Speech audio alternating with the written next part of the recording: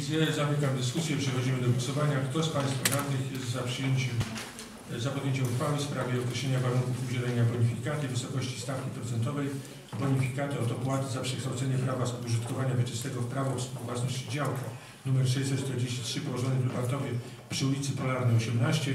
Jeszcze zanim Państwo będą głosować, e, zapytam, czy ktoś ma jakieś uwagi do projektu. Nie widzę, wobec tego głosujemy. Kto z Państwa radnych jest za podjęciem tej uchwały? Proszę podnieść. Dziękuję. Stwierdzam, że Rada jednogłośnie przyjęła projekt. Przyjęła tę uchwałę.